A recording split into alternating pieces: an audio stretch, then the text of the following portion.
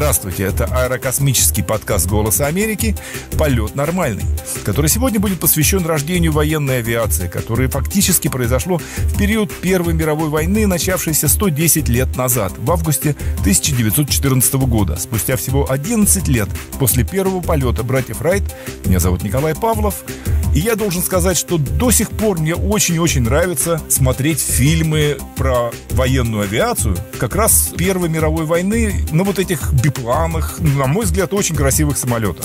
А меня зовут Олег Кругляков. Для меня этот период истории очень загадочный, потому что вся авиация для меня начинается вот с черно-белой хроники Второй мировой войны. А оказывается, не успели только люди поставить мотор на вот эту этажерку, как они начали тут же упражняться, какие бомбы на них навесить, как поставить пулеметы, как протаранить э, своих противников. В общем, люди недалеко ушли от э, того, чтобы научиться летать и тут же научиться кого-то сбивать. Поговорим немножко об этом, пока же начнем с новостей.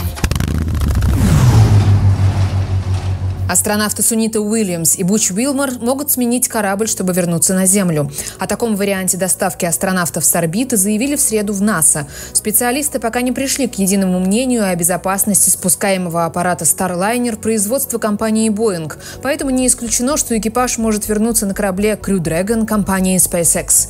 Уильямс и Уилмор должны были провести на МКС около недели, но уже находятся там более 60 дней. Причиной задержки стала проблема с двигательной установкой, а также некоторые другие неисправности. Космический грузовик «Сигнус» пристыковался к МКС после проблем с двигателем. Грузовой корабль был запущен в космос 4 августа, успешно отделился от второй ступени и развернул солнечные батареи. Однако после кораблю не удалось включить двигательную установку. Тем не менее, он продолжил приближение к МКС. В итоге «Сигнус» был на месте вовремя и стыковка прошла успешно. Грузовик доставил на Международную космическую станцию более трех с половиной тонн продовольствия, оборудования и других грузов. Запуск американо-индийского спутника отложили до 2025 года. Как пишут на сайте НАСА, старт миссии «Нисар» перенесли как минимум на февраль следующего года. Планируется, что совместный спутник США и Индии будет изучать земную криосферу, то есть изменение ледяных щитов, ледников и морского льда на Земле. С помощью спутника ученые надеются проанализировать состояние водно-болотных угодий и деформацию почвы из-за деятельности вулканов. Планировалось, что «Нисар» запустит до октября этого года, однако по техническим причинам ученым пришлось отложить запуск. В Нью-Йорке власти города начали с помощью дронов предупреждать жителей о возможных наводнениях. В преддверии дождя беспилотники, оснащенные громкоговорителями, летят в уязвимые районы и оповещают об опасности затопления. Пять команд операторов уже провели испытания днем во вторник, когда на Нью-Йорк надвигался сильный дождь. Прилетевшие в разные районы, дроны сообщали жителям об опасности. Особенно они предостерегали людей, которые живут в подвальных помещениях. Наводнения являются серьезной проблемой для Нью-Йорка. Нью-Йорка. В 2021 году из-за дождей на фоне урагана Ида в своих подвалах утонули 11 человек. А пригласили мы в студию сегодня поговорить об исторических закономерностях, э, перипетиях и интересных фактах нашего штатного историка, комментатора «Голоса Америки» Александра Григорьева. Александр, привет. Привет, привет Саша, привет. И как я уже сказал, вот не прошло и буквально декады, как люди вместо того, чтобы совершенствовать свои летные навыки, стали совершенствовать методы убиения с помощью самолетов. И тут-то, в общем, война все и расставила на свои места.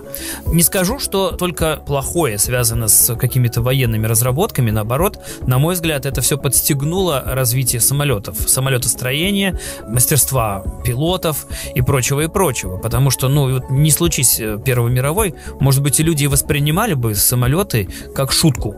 А тут вдруг за каких-то 4 года они смогли придумать кучу всяких примочек наворотов, всяких трюков, чтобы по-новому взглянуть на авиацию, по-новому овладеть. Практически все они придумали для военной авиации именно тогда, ну, за эти четыре года. Да, ну и надо сказать, что, собственно, в США первые изобретатели и изобретатели фактически управляемого полета братья Райт как раз и рассматривали в первую очередь армию и военных в качестве... Подрядчика. Подрядчика, да. То есть они видели в них заказчиков, они сразу поняли, что вот эта идея использования авиации как раз пригодится для ведения боевых действий где-нибудь. Ну и давайте так, посмотрим на войну. Несмотря на то, что братья Райт были пионерами авиации со стороны Соединенных Штатов а, к Первой мировой сами Соединенные Штаты, тем не менее, подошли, ну, скажем так, без авиации. и вынуждены были полагаться на союзников в Европе, у которых в этом плане было к тому моменту гораздо больше наработок. Не, ну если не считать, конечно, использование воздушных шаров, которые, собственно, США использовали и во время гражданской войны в Соединенных Штатах, и во время испано-американской войны. А также воздушных змеев и прочих вещей, которые, ну, в общем, с войной, конечно, слабо ассоциируются, тем не менее, все это было. И начнем, наверное, с э, абсолютно такой сухой информации. Первая мировая разродилась когда? 1 августа 1914 И воевали кто против кого? Тройственный союз против Антанты. Это базовая школьная программа. Тем не менее, для того, чтобы понимать, э, какие державы с какими технологиями на то время передовыми схлестнулись в этой войне, это очень важно. Потому что, с одной стороны, это была Германия, э, которая ну, не унималась тогда совершенно. Мы помним весь этот стимпанк, который воспет потом в фильмах всякие эти в зачаточном воплощении от подлодок до самолетов и танков. С другой стороны, это была франко-британо-российская коалиция, и вот именно эти силы и формировали ландшафт военный как на земле, так на морях, так и в воздухе. Поправьте меня. Нет, я не буду поправлять, потому что Германия тогда была, наверное, государством с самой развитой наукой. Это были чемпионы мира в области химии, металлургии и много чего еще. В оружейном деле Франция была чемпионом мира в области авиации, в том числе боевой авиации, потому что все э, летали большей частью на французских самолетах. Я имею в виду страны Антанта и э, величайшие асы были именно французами. Ну, можно тут вспомнить хотя бы того же самого Ролан Гароса, который которого все знают благодаря теннисному турниру. Великобритания, великое государство технологическое, имеющее тоже все... Владычица нараб... морей. Владычица морей, наработки и так далее. Компания Викерс, с чего стоит, которая производила все и вся, и потом британцы начали выпускать танки, как известно, первыми. Ну, в общем, это была война технологическая, и самолеты, которые сначала вступили в бой, военными изначально не были. Это был один из таких вот парадоксов. Это были... Ну, потому что самолеты это вообще воспринимались тогда как шутка, как некий побочный эффект эволюции технологической, который, в общем, больше мешал, наверное, чем помогал. Вот, и применение им в начале войны просто, ну, либо не было вообще, либо это было совершенно не в том виде, в котором мы сейчас привыкли видеть авиацию. Не, ну это была разведка на начальном этапе войны, когда немцы разворачивали вот это наступление сквозь Бельгию на Париж.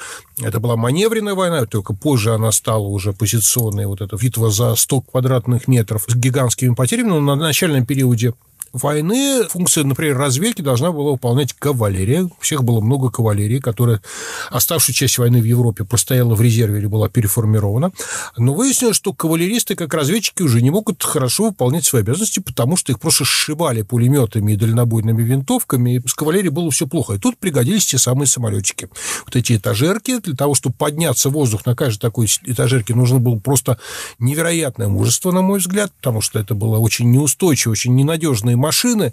Ко всему прочему, еще не было парашютов у летчиков. То есть, если самолет терпел крушение по какой-то причине, то шансы на спасение были, но были очень небольшими. Каждый человек, который поднимался в воздух, рисковал своей жизнью даже без того, что у него начнут стрелять враги. Вот эти самолеты, которые использовали сначала французы, потом англичане, для того, чтобы следить за движением германских колонн, и они внесли колоссальный вклад в то, что немцы были остановлены у Парижа, в конечном итоге доказали то, что они полезный инструмент на поле поле боя. И тут еще очень важный момент. Вот до войны уже существовало некое международное братство авиаторов. Люди, которые садились за штурвалы самолетов, тогда еще не было штурвалов, за ручку, в кресло самолета, и которые там встречались в воздухе, там немцы с французами, с англичанами, они там махали друг другу руками, они приветствовали, отдавали честь. То есть это была встреча джентльменов, которые вот просто так вот случайно начали воевать друг с другом. Но прошло буквально 2-3 месяца. Они начали сначала сначала палить из револьверов,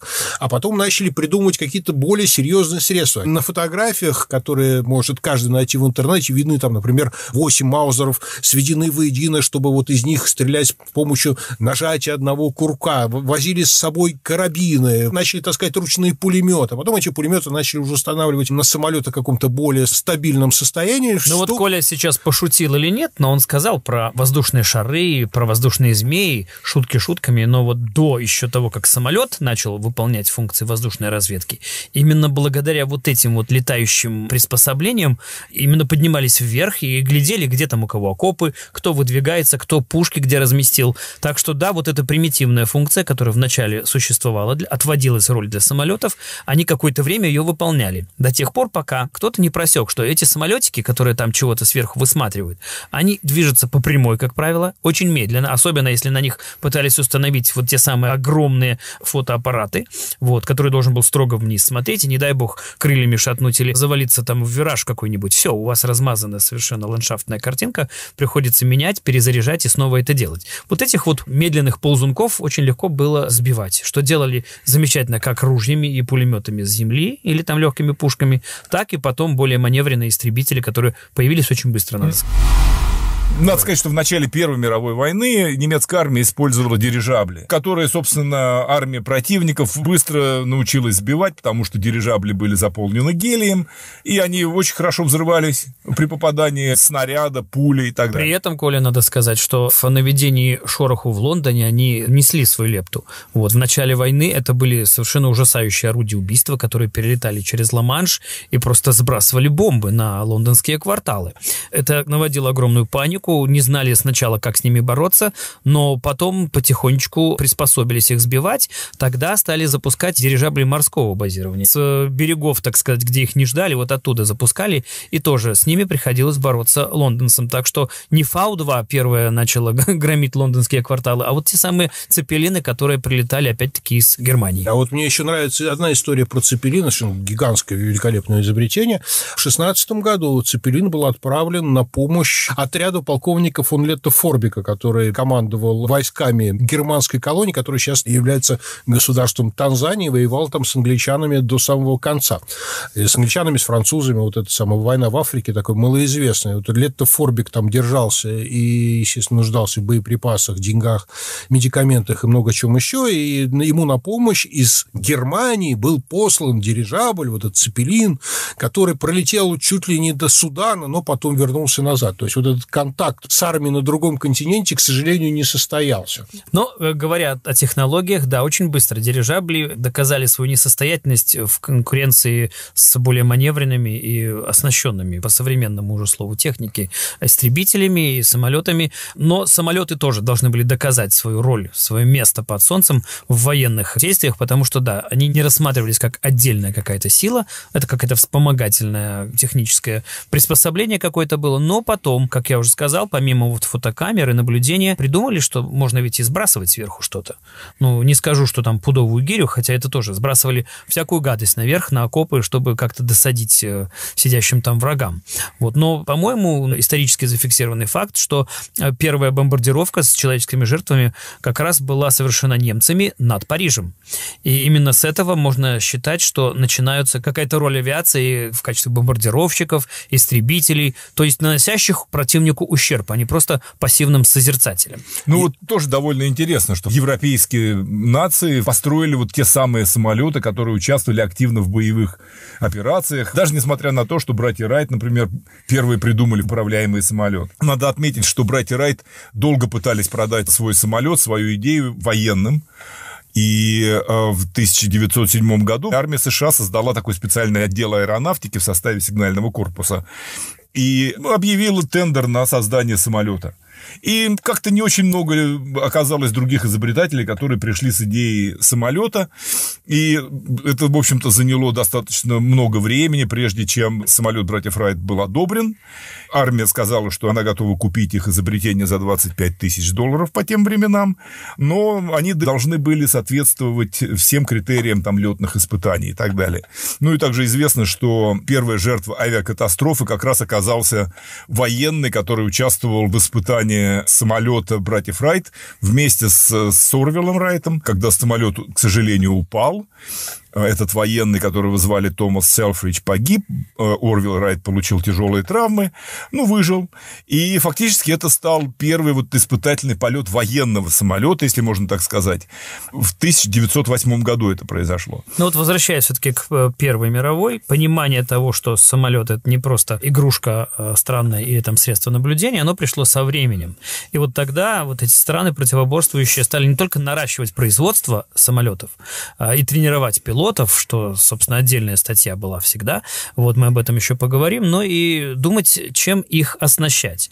Сначала были вот эти маленькие предметы, острые какие-то там штыки, флашеты, флашеты. Флашеты, да, флаше, да, вот эта стрела по-французски, вот, которые просто могли сбрасывать на окопы, тяжелые какие-то вещи, вот, потом они могли какие-то бомбы туда сбрасывать, опять-таки легкие, чтобы в руках можно было держать. Ну и, Саша, ты правильно сказал, пытались стрелять друг в дружку из-за всяких мелких орудий, да, из пистолетиков, из винтовок, возможно. Вот с пулеметами была совершенно отдельная песня.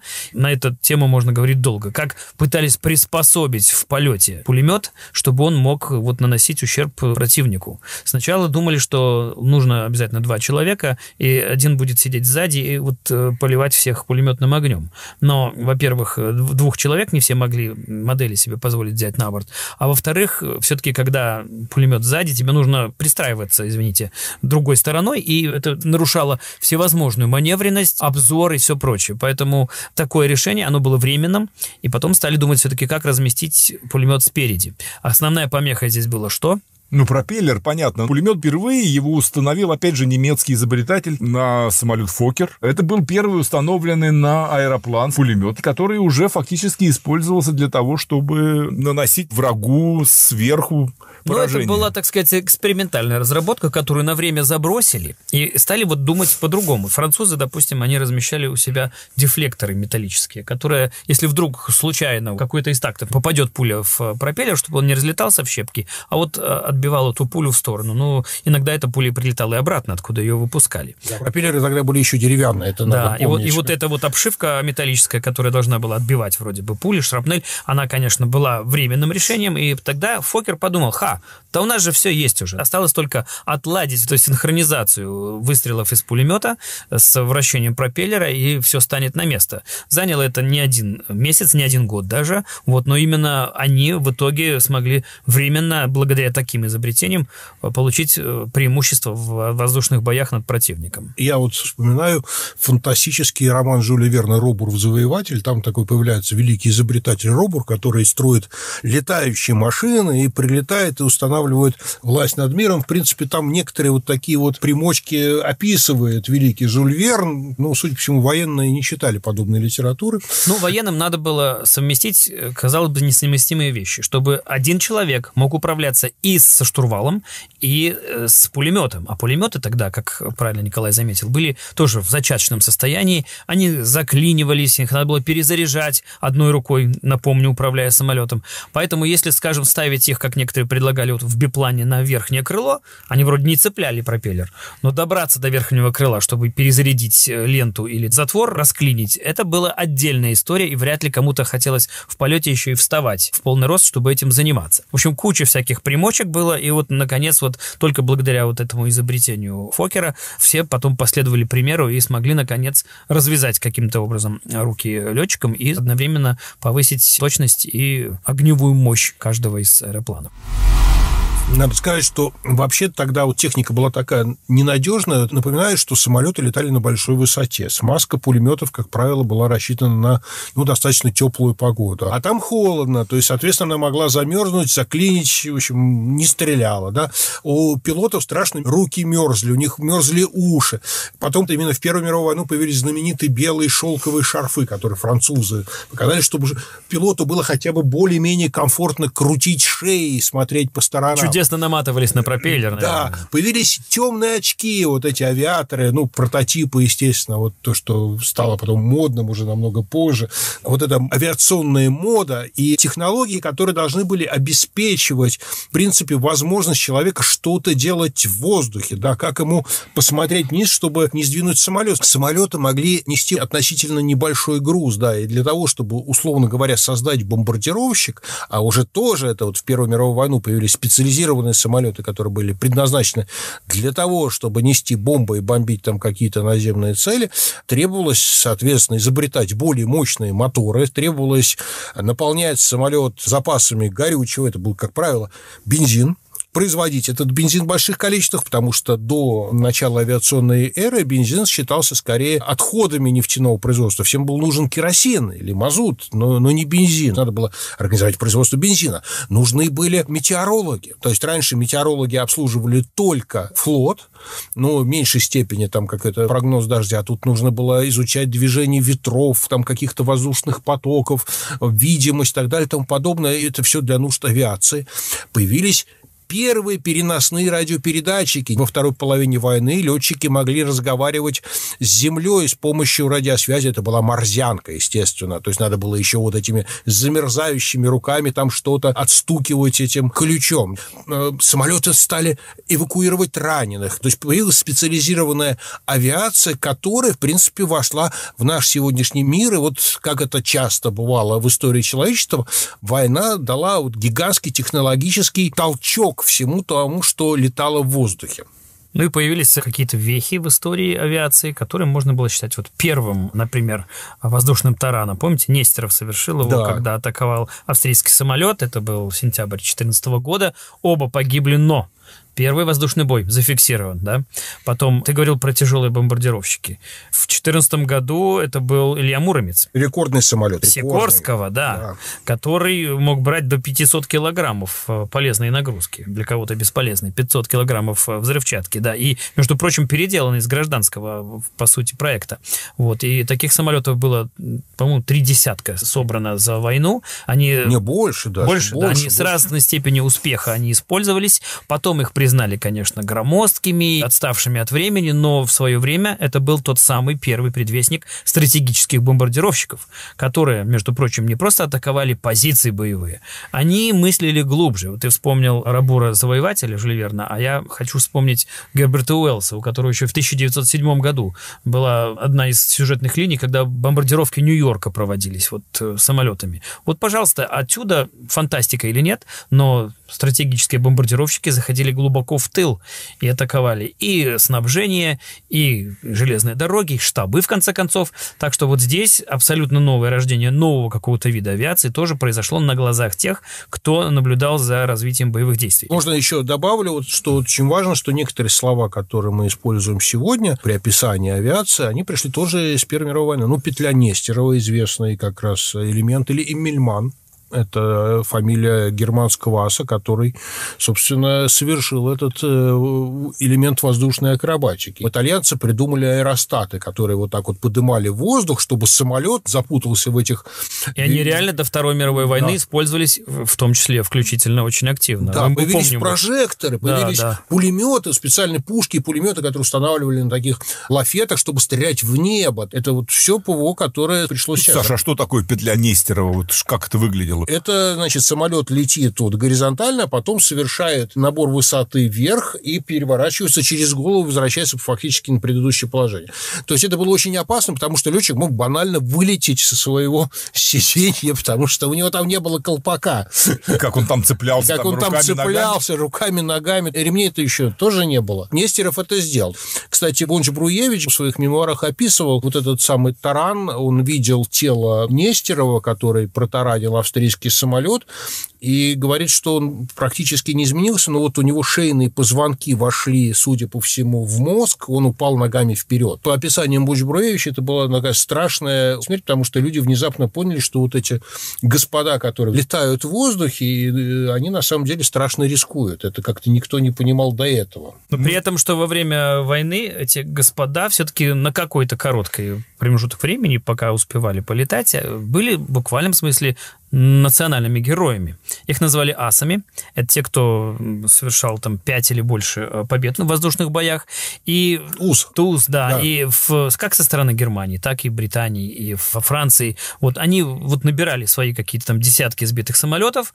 Потом статистика говорит, ну вот, извините, удача от него отвернулась, и он сам становился тем самым сбитым самолетом. Поэтому немногие из асов э, дожили до конца войны, но свои почести, награды и народную любовь они, конечно, приобретали, потому что был своеобразный культ военных современных летчиков, которые, как ты сказал, от одежды до мастерства, до каких-то трюков, которые могли исполнять, они, конечно, все свой вклад внесли в эту военную кампанию. Ну, кстати, к слову сказать о новых, как бы, родах войск, вернее, нового использования авиации во время войны США до начала Первой мировой войны придумали идею военно-морской авиации фактически. А, например, 14 ноября 1910 года военный летчик Юджин Или совершил демонстрационный полет компании «Куртис» с палубы американского военного корабля USS «Бирмингем». И надо сказать, что буквально спустя несколько месяцев, в январе 1911 года, ему удалось посадить самолет на палубу уже другого, правда, корабля, который назывался USS «Пенсильвания».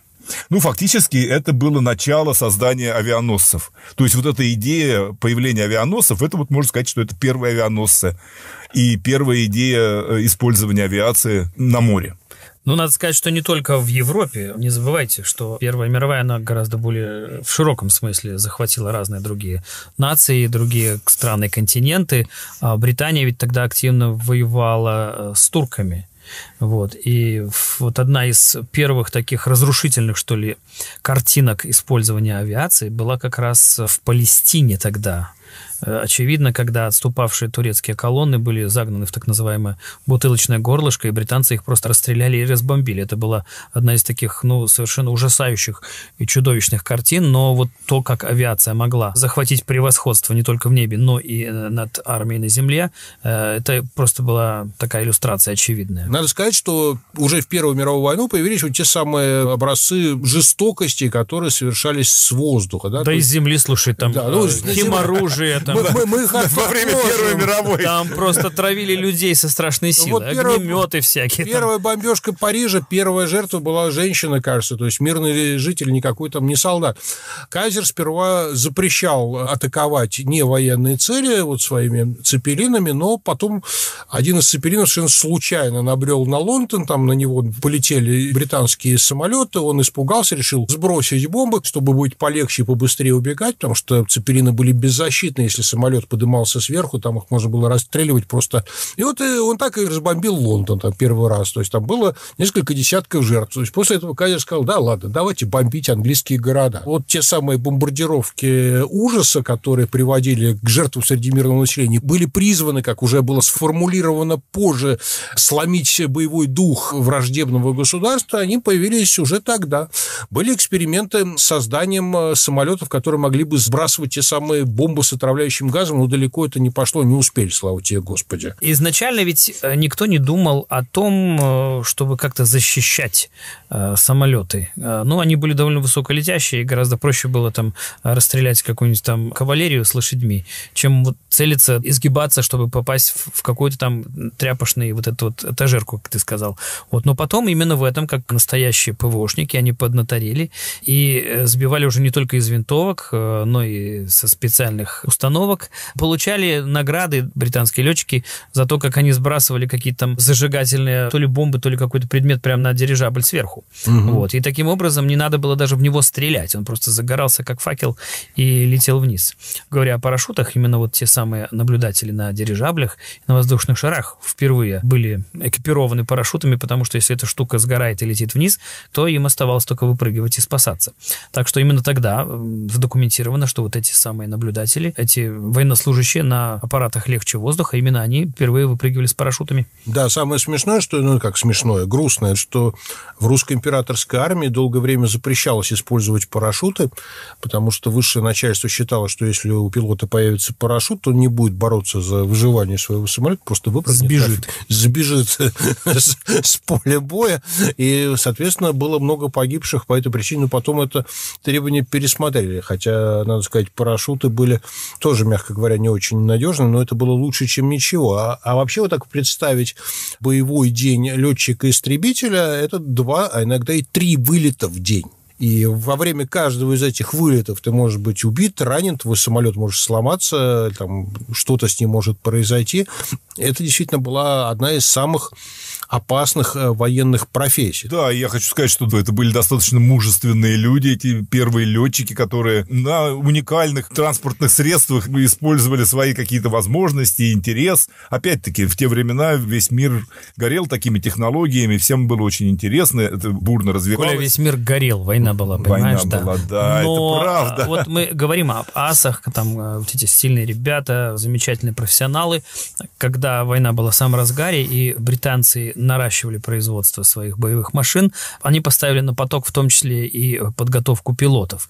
И, надо сказать, не особо на это уделяли много средств внимания, поэтому многие отмечают, что вот эти вот сотни, сотни самолетов пилотировались людьми не самой высокой квалификацией, чем немцы, кстати, которые гораздо серьезнее к подготовке к этой относились, пользовались. И вот десятки погибших э, пилотов, сбитых британских, возможно, часть этой проблемы была в том, что их недостаточно достаточно хорошо готовили. Ведь это целое искусство. Немцы, по-моему, там выпускали целые инструкции о том, как заходить на цель, чтобы солнце обязательно было за тобой. Если ты ввязался в бой, не заканчивая его, не убегая, доводи его до конца. А как вести себя, если самолет упал где-то там на вражеской территории. По каким ориентирам э, выбираться обратно. То есть целые огромные просто учебники, которые нужно было в себя впитать, и э, отнюдь не все относились к этому вот стопроцентно. Но все равно надо сказать, что это была такая достаточно новая отрасль. Я не знаю, знаю, кто умел и кто мог там обучать пилотов для такой профессии, которая фактически еще почти не существовала. Надо сказать, что первых пилотов в Америке как раз обучил один из братьев Райт. Считается, что он стал тренером и учителем трех первых военных американских летчиков. Ну, потом был уже там известный американский летчик АС, который воевал во время Первой мировой войны. Еще до вступления в войну это был Эдвард Рикенбекер, который был до этого как раз очень опытным гонщиком. Он гонялся на автомобилях и, собственно, благодаря этой известности получил даже должность шофера генерала Джона Першинга, который, как мы знаем, был командующим американскими войсками во Франции. И после прибытия во Францию в 1917 году Рикенбекер увлекся полетами и попросил перевести его в новый род войск, авиацию фактически. И получил позицию, стал летчиком, готовился, готовился во Франции, был зачислен в 94-ю авиаэскадрилью знаменитую, и во время полетов в составе этой эскадрильи одержал 26 побед, и даже в 1930 году получил от президента Герберта Гувера медаль почета, высшей военной награды США что в Первую, что во Вторую мировую войну курсанты авиационных школ, авиационных училищ гибли пачками. То есть там была огромная смертность огромное количество начинающих пилотов во время этих полетов погибали. Там речь шла действительно о сотнях и тысячах людей. Иногда эти потери были выше, чем на фронте, как это не печально сказать. И здесь еще бы немножко поговорить о немцах, которые были невероятными инноваторами, опять же, в области военной авиации, что в Первую, что в Вторую мировую войну. Они первыми научились, например, э, концентрировать свои достаточно ограниченные воздушные силы, потому что у англичан и французов было больше самолетов, чем у них, для того, чтобы добиваться тактического превосходства на определенных участках фронта. То есть они стягивали туда все, что у них могло летать, просто выбивали с неба вражеские самолеты. Благодаря этому германская пехота могла там добиваться каких-то локальных успехов. Это первое.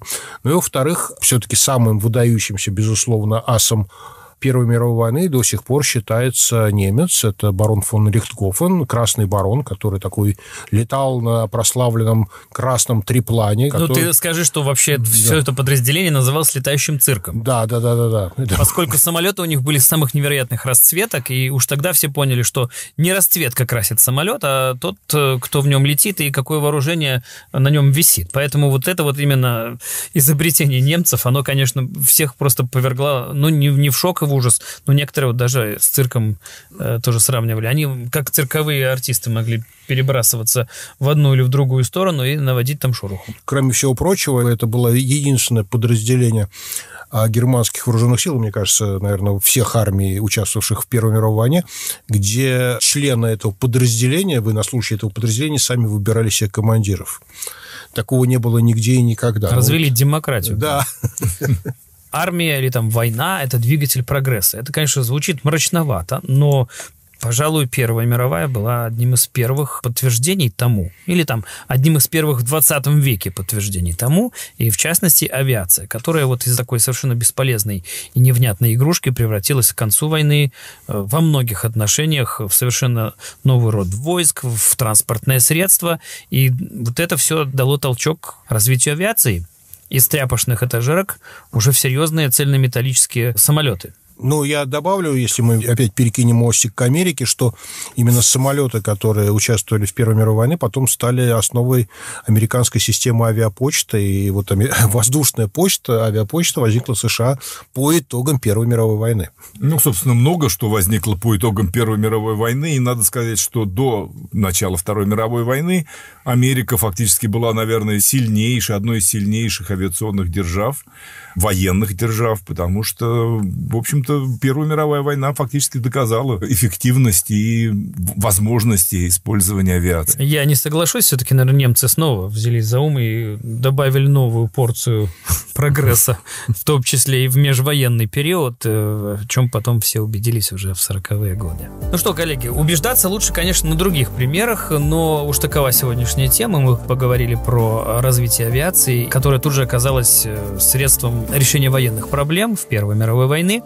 О других аспектах в других более мирных сферах, наверное, предстоит поговорить в следующих подкастах, но я пока хочу поблагодарить моих коллег, которые э, подняли архивы и нашли, мне кажется, множество интересных фактов более чем столетней давности. Спасибо, Саша. Спасибо, Олесь. Э, спасибо, слушатели. Я хочу напомнить, что наш подкаст выходит раз в две недели по пятницам. Слушайте нас на сайте «Голос Америки», на YouTube, в Apple подкастах и на других аудиоплатформах. Спасибо, до свидания. До свидания. Пока.